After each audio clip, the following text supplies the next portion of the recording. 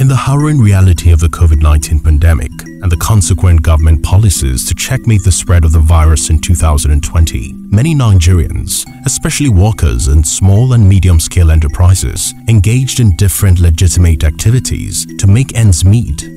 We are opening once in a week and you must have your hand sanitizer, your face mask. It was not really easy. We get to treat them. These are the policy of the Federal Capital Territory we have to control their coming.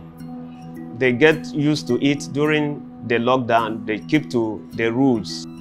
While one of the guidelines from the World Health Organization WHO required adherence to safety precautions to prevent infection and transmission of the highly infectious virus from one person to the other by wearing a face mask, frequent washing of hands with soap and water, using alcohol-based sanitizer, physical distancing, and avoiding public gatherings. The challenge of sustaining compliance to these safety requirements and the effect of the pandemic in the country was even more daunting for many Nigerians.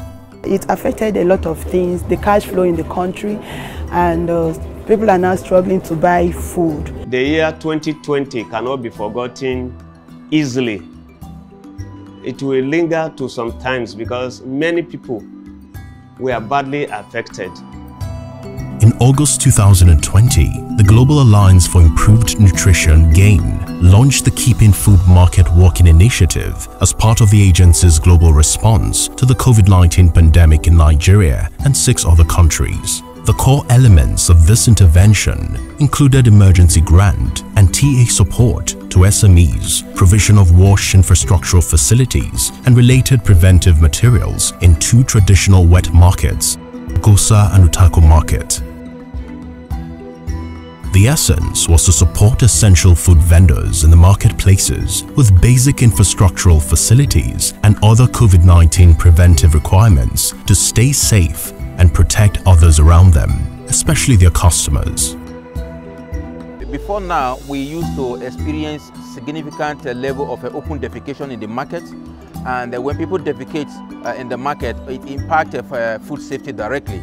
And uh, also, we also realized that there was no um, reliable source of water supply. Again, that is also linked directly to food safety because people don't have enough water to wash their vegetables as well as other food products. So, uh, and again, it's all about food safety. kasuwa mun ji daɗi na famfuna da da abubuwan da aka yi wa kasuwa da gidan wanka da toilet. Ga mu alhamdulillahi da ruwa. Ana ɗiba ana sha. Ba mu da zulumin ruwa. Babban abin da muke ta ciki da godiya a kansa.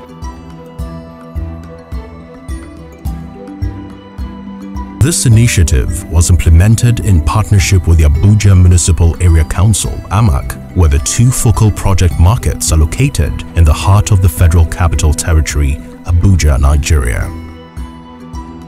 So during that last year, the activities of GAIN that came into these two markets actually assisted the market. Face masks were donated, hand sanitizer, washing hand machine were provided by GAIN. So I think that is what really helped the two markets to be functional. When they came, we received them with open arms. We were so happy. They came with a lot of, for me it's goodies, I will call it goodies. So each time they keep supplying us nose masks. They brought a machine that will be mounted in, at every entrance of the market. You have water to wash your hand and all that. It was really helpful. We are very happy from the intervention, even where it comes from.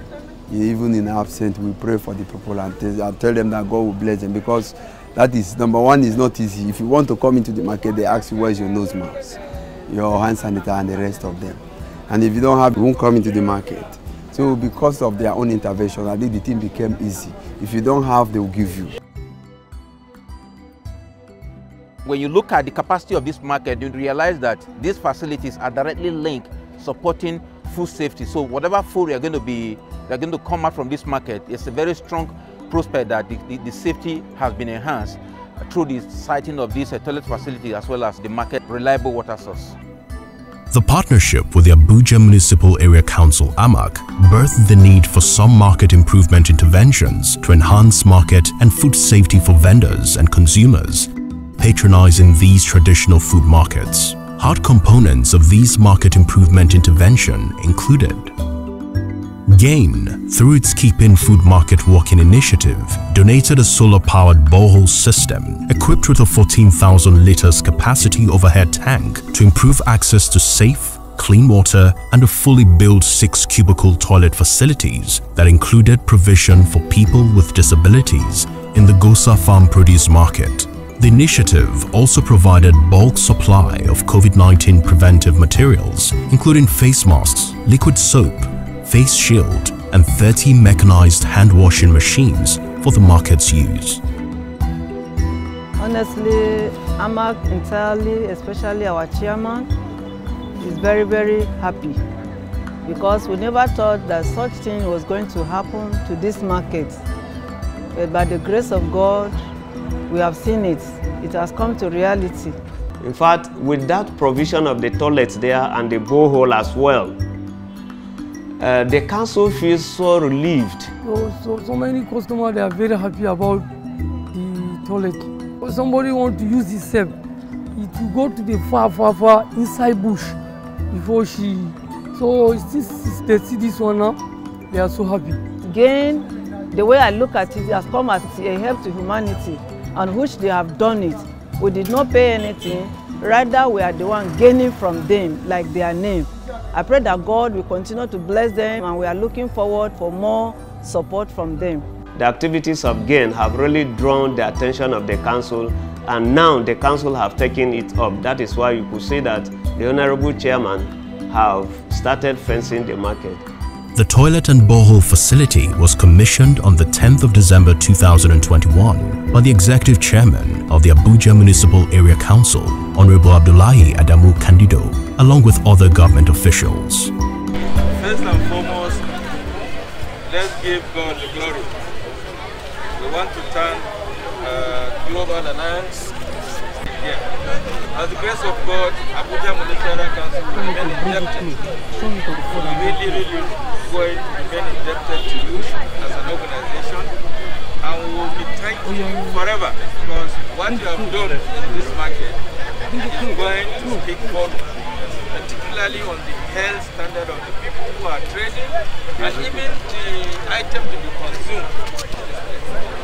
On behalf of the Abuja Municipal Council, we want to say thank you and we pray that God will uplift your organization and make it you know, something that will blossom and blossom further. God be the glory. In the name of Almighty God, it is hereby.